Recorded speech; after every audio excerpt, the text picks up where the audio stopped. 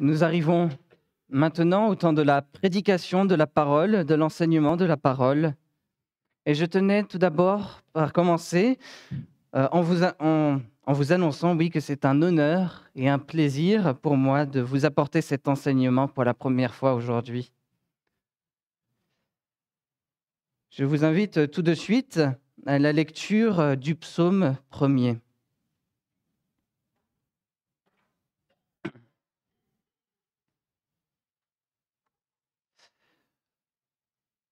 Heureux l'homme qui ne marche pas selon le conseil des méchants, qui ne s'arrête pas sur le chemin des pécheurs et qui ne s'assied pas sur le banc des moqueurs, mais qui trouve son plaisir dans la loi de l'Éternel et qui médite sa loi jour et nuit.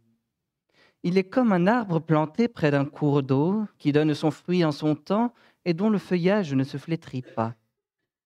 Tout ce qu'il fait réussit. Il n'en est pas ainsi des méchants. Ils sont comme la paille que le vent dissipe. C'est pourquoi les méchants ne résistent pas au jour du jugement, ni les pécheurs dans la communauté des justes. Car l'Éternel connaît la voie des justes, et la voie des pécheurs mène à la perdition. Prions. Éternel, notre Dieu, nous te rendons grâce pour la Bible, pour ta parole. Nous croyons qu'elle est la vérité et qu'elle peut nous rendre sages en vue du salut par la foi en Jésus-Christ, ton Fils. Nous te prions également par ton Saint-Esprit de nous enseigner ta parole. Ouvre nos oreilles à ton évangile, attendris nos cœurs à ta bonne nouvelle, afin que nous contemplions les merveilles de ta grâce. En Jésus-Christ. Amen.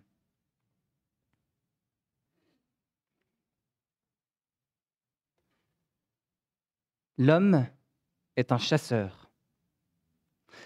Nous courons toujours après la réussite. Nous la poursuivons sans cesse. Nous traquons ses empreintes. Nous ouvrons l'œil pour guetter les brèves apparitions furtives de la réussite dans nos vies. Nous tendons l'oreille pour écouter son passage dans la vie de nos proches. Et il est vrai, nous pensons parfois l'attraper autour d'un dîner de famille ou de l'achat d'une belle cabane, par exemple. Et hop, la voilà qui s'échappe et qui se faufile entre les fourrés pour se cacher loin de nous. Et l'histoire se répète. Et au fur et à mesure des saisons, c'est à se demander si nous nous y prenons vraiment de la bonne manière et si nous parcourons vraiment la bonne piste nous empruntons le bon chemin. Le psaume 1 se présente comme une carte, sous la forme d'un proverbe plein de sagesse.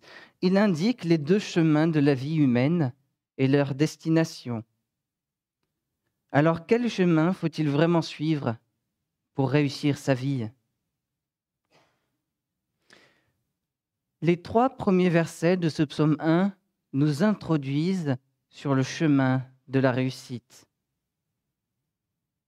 Heureux l'homme qui ne marche pas selon le conseil des méchants, qui ne s'arrête pas sur le chemin des pécheurs et qui ne s'assied pas sur le banc des moqueurs.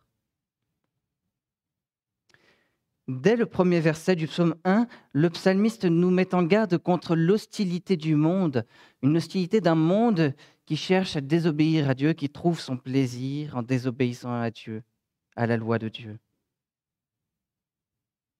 Dans la randonnée qu'est nos vies, nous sommes invités à ne pas suivre les écriteaux des méchants. Nous ne sommes pas invités à marcher, à nous arrêter sur le chemin des pécheurs, de ceux qui s'installent durablement, qui s'habituent à désobéir à la loi de l'Éternel. Et nous ne sommes pas invités à nous asseoir sur le banc des moqueurs. Les moqueurs désignent ici les personnes qui se fichent totalement de désobéir à la loi de Dieu. Et quand on leur rappelle que cette désobéissance est importante et qu'ils en subiront la condamnation, ils se rient, ils se moquent. Oui, il y a une glissade ici dans laquelle nous risquons de tomber. C'est pourquoi le psalmiste met en garde l'homme qui désire être juste, afin qu'il ne glisse pas dans cette voie de la désobéissance. Oui, pour l'homme qui désire être juste, la tentation est très grande de désobéir à Dieu et de se conforter petit à petit dans son péché. Au contraire, l'homme qui désire être juste doit trouver son plaisir dans la loi de l'Éternel, verset 2. Son plaisir, il ne le trouve pas dans ses richesses matérielles. Certes, l'argent résout bien des difficultés, mais sa valeur est relative. Ne dit-on pas que l'argent ne fait pas le bonheur? L'homme qui désire être juste ne trouve pas non plus son plaisir dans sa santé physique et mentale. Certes, la santé participe au bien-être général, mais son équilibre est instable. Ne dit-on pas que la santé est fragile? Et l'homme qui désire être juste ne trouve pas non plus son plaisir dans le frisson amoureux. Alors certes, ce, moment, euh, ce frisson crée des moments inoubliables, mais il est éphémère. Ne dit-on pas qu'il ne dure que trois ans? Non. L'homme heureux ne trouve pas son plaisir dans les choses futiles que le monde propose. Au contraire, il trouve son plaisir dans la loi de l'Éternel. Elle seule est absolue, elle seule est inaltérable, elle seule est éternelle. Cette loi de l'Éternel, nous la retrouvons dans l'Ancien Testament, en Exode 20 par exemple, avec les dix commandements. Plus généralement, on les retrouve déjà dans tous les cinq premiers livres de, euh, de la Bible, de l'Ancien Testament. Et puis ces commandements, on les retrouve ensuite dans tout le livre des psaumes que ce psaume introduit, et encore plus généralement, cette loi de l'Éternel, nous la lisons, nous la trouvons dans la Bible tout entière, qui est la parole de Dieu. Cette parole de Dieu est infiniment précieuse à l'homme qui est juste. C'est en elle qu'il trouve son plaisir. Et c'est pourquoi l'homme qui désire être, qui désire être juste médite la loi de l'Éternel jour et nuit. Il ne se contente pas seulement de lire ou d'étudier la parole de Dieu de manière académique. Non, le plaisir qu'il y trouve est si grand, son désir pour elle est si intense qu'il la relit, il la redit, il la répète, il la ressasse. 24 heures sur 24, 7 jours sur 7, nuit et jour, l'homme juste s'en imprègne. Dans les bons moments de la vie, dans les mauvais moments de la vie, lorsqu'il s'élève sous le soleil de la vie, lorsqu'il descend dans la vallée de l'ombre de la mort, l'homme heureux s'imprègne de la parole de Dieu. Et son plaisir est si grand son désir est si intense qu'il ne désire pas seulement la, lire, la méditer, la ressasser, il souhaite aussi l'appliquer dans sa vie. Oui, l'homme juste savoure quotidiennement la parole de Dieu. Il vient à elle avec un esprit joyeux et il est si ravi de ses instructions qu'il ne compte rien de plus désirable ou de plus délicieux que d'y faire des progrès disait le réformateur Jean Calvin. L'homme juste se nourrit continuellement des commandements de Dieu et s'abreuve constamment de ses prescriptions. Ainsi, comme un arbre planté près d'un cours d'eau, il plonge peu à peu ses racines dans la parole de Dieu pour s'imprégner de ses bienfaits. Oui, c'est cela le cheminement de l'homme juste. Et ce cheminement d'obéissance à la parole de Dieu le conduit vers une agréable destination. L'homme heureux est comme un arbre planté près d'un cours d'eau, qui donne son fruit en son temps et dont le feuillage ne se flétrit pas. Tout ce qu'il fait réussit. verset 3. Alors j'imagine que nous le savons tous, un arbre a tout le temps besoin d'eau, a constamment besoin d'eau. C'est grâce à l'eau qu'il s'épanouit, qu'il porte de bons fruits et qu'il reçoit la vie. Et de la même manière, l'homme a constamment besoin du cours d'eau qu'est la parole de Dieu. C'est uniquement grâce à ce cours d'eau qu'il peut s'épanouir, produire de belles œuvres, de belles actions et recevoir la vie éternelle. Il se rafraîchit auprès de la parole de Dieu, l'homme juste s'y ressource, il s'y implante. Et c'est pourquoi, par conséquent, il tire ses bonnes œuvres de la parole de Dieu. C'est parce qu'elles sont conformes à la parole de Dieu. C'est parce qu'elles prennent leur source dans la parole de Dieu que ces œuvres, que ces actions sont justes et bonnes.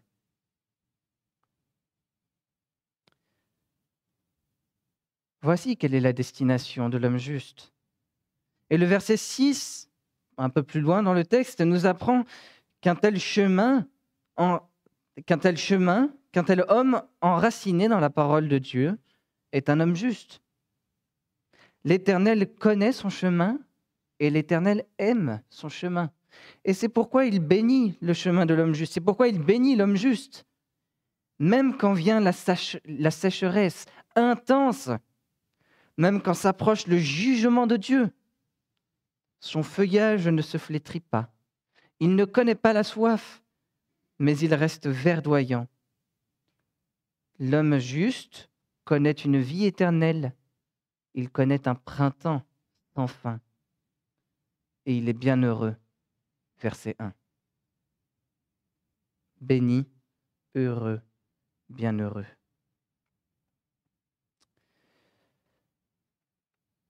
Voilà le chemin de l'homme juste. Voilà la définition euh, la, destination pardon, de, l'homme juste. À travers la glissade du verset 1, le psaume 1 nous mettait en garde contre la très grande facilité avec laquelle nous pouvions quitter le chemin de la réussite pour nous empêtrer progressivement dans le chemin de la perdition. Ce verset 1 nous rappelait l'importance de bien nous entourer, d'avoir des proches constamment fidèles à Dieu et enracinés dans sa parole. Et je cite à nouveau le réformateur Jean Calvin qui écrivait Si dans le temps du psalmiste, il était nécessaire pour des adorateurs dévoués à Dieu de se retirer eux-mêmes de la compagnie des impies pour bien encadrer leur vie, combien plus aujourd'hui, où le monde est devenu tellement plus corrompu, devrions-nous soigneusement éviter toute société dangereuse afin de ne pas être souillés par ces impuretés? Mais le prophète non seulement ordonne aux fidèles de se tenir à distance des impies, de crainte d'être infectés par eux, mais son avertissement implique en outre que chacun doit veiller à ne pas se corrompre ni s'abandonner à l'impiété. Nous voulons tous la réussite. Nous voulons tous être un homme juste. Et pour cela, nous devons bien nous entourer, nous entourer de personnes constamment fidèles à Dieu, et enraciné dans sa parole.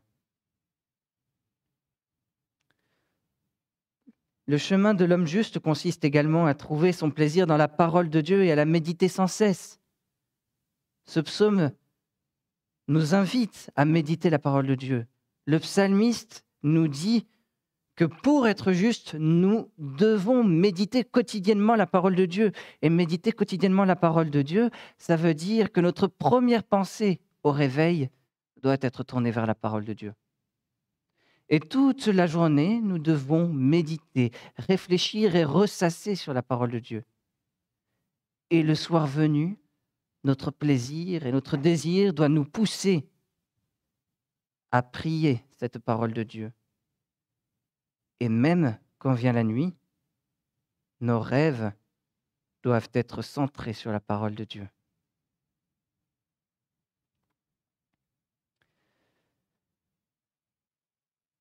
Oui, nous devons constamment être enracinés dans la parole de Dieu pour être justes et pour mériter la réussite. Voici quel est le message des trois premiers versets de ce psaume. Dans les versets 4 à 6, le psalmiste décrit le chemin de la ruine. Il n'en est pas ainsi des méchants, écrit-il. Alors quel est son chemin?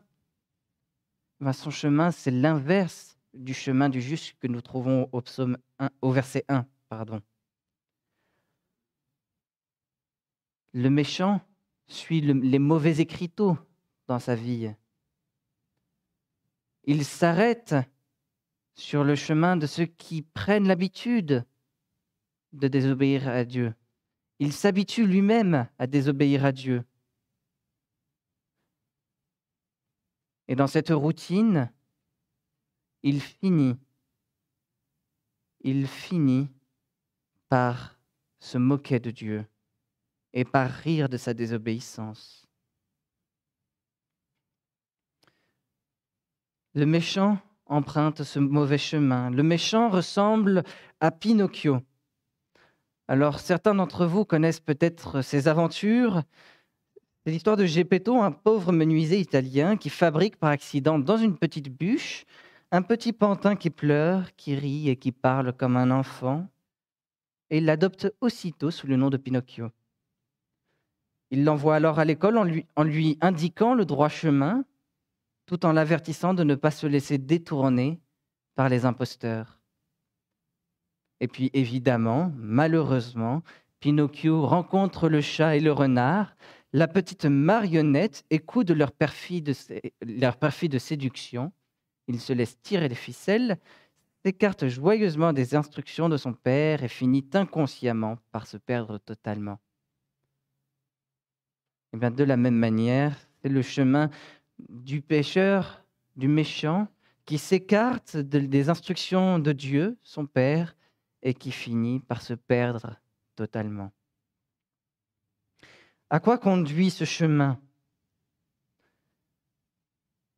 Le juste ressemblait à un arbre profondément enraciné dans la parole de Dieu, dans le cours d'eau de la parole de Dieu. Et même sous, la, même sous la sécheresse du jugement de Dieu, il est resté solide et verdoyant. Les méchants, au contraire, sont comme la paille que le vent dissipe. C'est pourquoi ils ne résistent pas au jugement, ni les pécheurs dans la communauté des justes. Les méchants ont des racines courtes. Leur fondement est superficiel. Quand vient la sécheresse, rien ne les retient. Ils sèchent et sont envolés par la juste colère de Dieu à cause de leur faute. Par ailleurs, germer et pousser au milieu du peuple d'alliance de Dieu ne leur garantit pas de résister à son jugement. Autrement dit, ce n'est pas parce que nous naissons et que nous grandissons dans l'Église que nous ne serons pas balayés par le jugement de Dieu.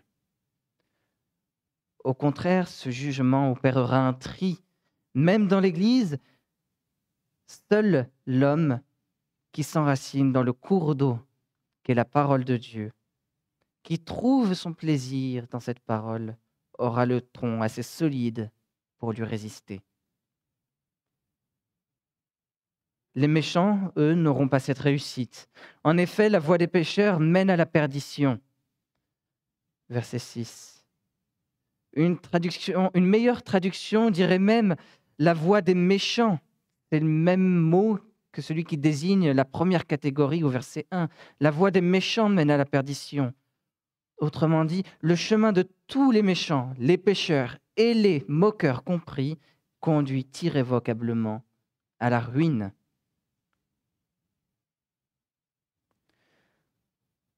Le chemin de l'homme méchant consiste à désobéir à la parole de Dieu. Et c'est pour cette raison que ce chemin conduit à la ruine. Et nous Parvenons-nous toujours à obéir à la loi de l'Éternel? Respectons-nous toujours ses commandements? Et là, j'aimerais poser cinq questions concrètes. Quand nous croisons des personnes dans le besoin, même un tout petit besoin, nos réactions sont-elles toujours bienveillantes? Quand nos amis et nos proches nous reprochent quelque chose, Nos pensées sont-elles toujours humbles? Et quand nous corrigeons nos enfants, nos jugements sont-ils toujours bien proportionnés? Quand nous sommes en désaccord avec nos parents, nos paroles sont-elles toujours respectueuses? Et quand nous adorons notre Dieu, nos cœurs sont-ils toujours concentrés sur lui?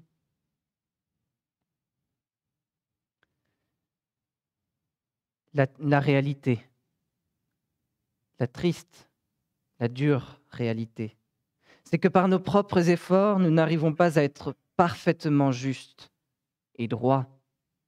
La parole de Dieu nous ennuie et nous préférons l'oublier que la méditer. À cause de notre péché, nous désobéissons tous à la loi de l'Éternel, nous désobéissons tous à la parole de Dieu.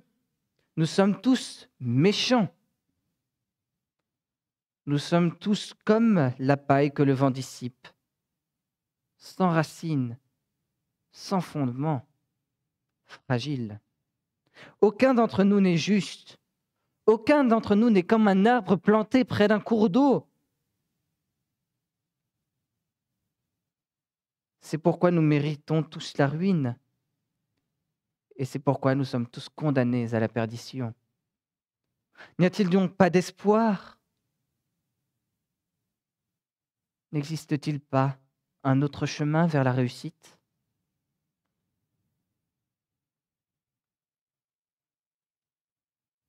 Au début de ma prédication, je disais que le psaume 1 se présente comme un proverbe plein de sagesse.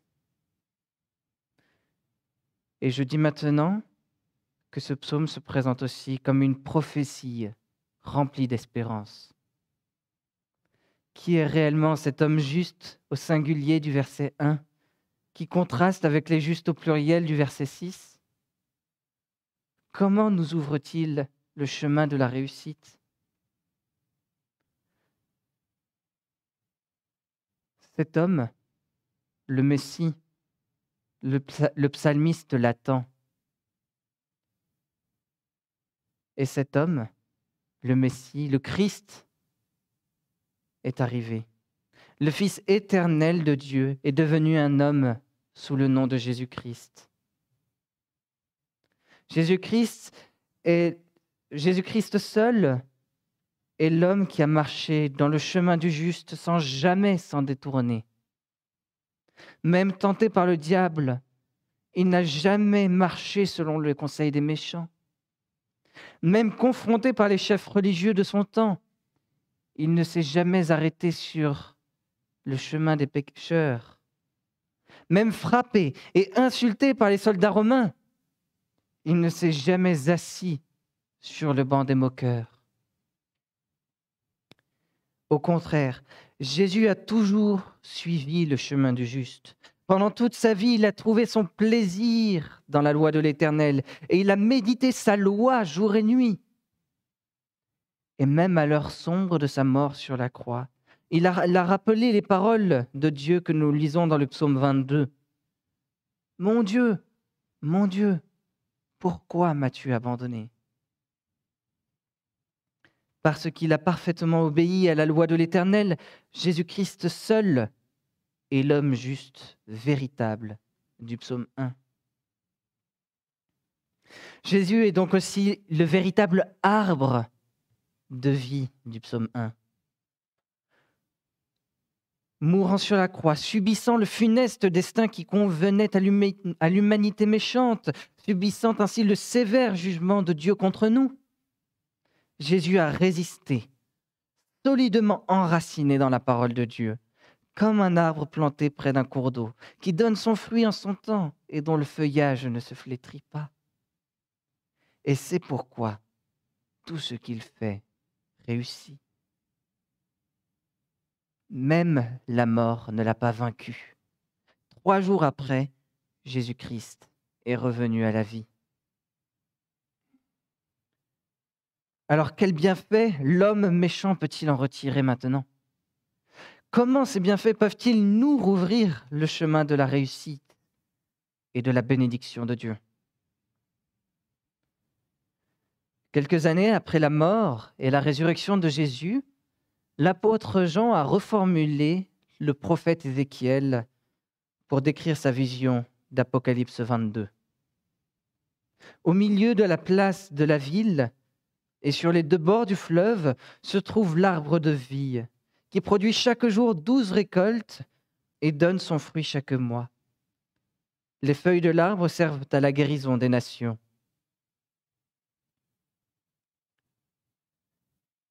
Jésus est l'arbre de vie. Jésus produit du fruit de la vie éternelle et son feuillage ne se flétrit pas. Pour l'éternité, il produira de ce fruit. Son feuillage, son fruit guérit les nations.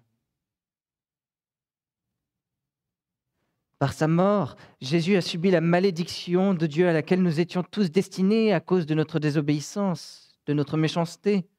Et par sa résurrection, il ouvre pour son peuple d'alliance l'excellent chemin de la bénédiction de Dieu. Et c'est pourquoi nous pouvons désormais nous dire bienheureux, comme au verset 1. Jésus-Christ nous a ouvert le chemin de la bénédiction de Dieu et de la réussite. Alors c'est vrai, aujourd'hui nous ne connaissions que partiellement cette réalité, cette, cette réussite n'est que partielle, mais bientôt, au jour du retour de notre Seigneur, nous l'expérimenterons pleinement.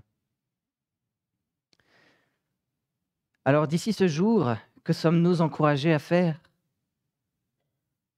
Je vous propose maintenant d'écouter les paroles de notre Seigneur Jésus-Christ dans l'Évangile selon Jean. Moi, je suis le cep, vous, les sarments. Celui qui demeure en moi comme moi en lui porte beaucoup de fruits, car sans moi vous ne pouvez rien faire. Si quelqu'un ne demeure pas en moi et moi en lui, il est jeté dehors comme le sarment et il sèche. Puis l'on ramasse les sarments on les jette au feu, et ils brûlent. Si vous demeurez en moi, et que mes paroles demeurent en vous, demandez tout ce que vous voudrez, et cela vous sera accordé. Mon Père est glorifié en ceci, que vous portiez beaucoup de fruits, et vous serez mes disciples. Jésus nous invite à nous attacher à lui, à nous greffer à son tronc, Jésus nous encourage à reprendre avec lui le droit chemin de la bénédiction de Dieu. Jésus-Christ nous invite à ne pas marcher selon le conseil des méchants, à ne pas nous arrêter sur le chemin des pécheurs et à ne pas nous asseoir sur le banc des moqueurs. Au contraire, il nous invite à méditer quotidiennement la parole de Dieu, continuellement, et à y trouver tout notre plaisir. Et cette décision, nous ne pouvons pas la prendre seuls, car sans Jésus-Christ, nous ne pouvons rien faire. C'est pourquoi Jésus nous a donné son Saint-Esprit pour nous aider et nous soutenir dans ces efforts d'obéissance et de méditation de sa parole. Désormais, si nous puisons notre plaisir et notre volonté dans la parole du Seigneur, si nos actions prennent leur source dans la loi de l'Éternel, alors elles sont rendues justes et bonnes par le bois de Jésus-Christ. Elles réussissent. Frères et sœurs, par nos propres forces, nous ne pouvons pas réussir nos vies. Alors quel chemin faut-il suivre pour réussir sa vie? Pour réussir sa vie, l'homme ne peut passer que par Jésus-Christ. Lui seul est l'homme juste. Lui seul est l'arbre qui donne la vie éternelle. Jésus-Christ est le seul chemin à suivre pour réussir sa vie. Et c'est pourquoi nous sommes désormais tous invités à trouver notre plaisir dans sa parole, à méditer sa loi jour et nuit et à marcher selon ses commandements dans toutes les saisons de nos vies. Que le Saint-Esprit nous conduise maintenant sur ce chemin et nous sanctifie pas après pas, selon la volonté de notre Père céleste. Prions.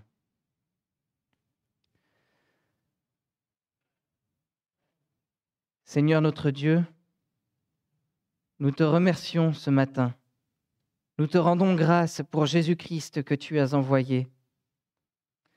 Merci parce que si nous, nous ne pouvions pas suivre le chemin de l'homme juste, si nous-mêmes, par nos propres forces, ne méritions pas ta bénédiction, Jésus lui-même est venu sur cette terre, ton Fils éternel. Nous te rendons grâce parce que dans sa vie, il a sans cesse, continuellement obéi à tes commandements, sans jamais s'en détourner. Nous te rendons grâce pour l'arbre de la vie éternelle qu'il est désormais. Merci pour la vie qu'il nous, communique. Merci pour ta bénédiction qu'il nous communique. Apprends-nous désormais à marcher selon tes voies et non selon le conseil des méchants. À travers ton Esprit Saint, apprends-nous à désirer ta parole comme nous, désirons ce qu'il y a de plus beau dans le monde. Apprends-nous à méditer ta parole jour et nuit. Apprends-nous à concentrer nos paroles à, concentrer nos pensées sur toi. Oui, c'est dans le nom de Jésus-Christ que nous te prions. Amen.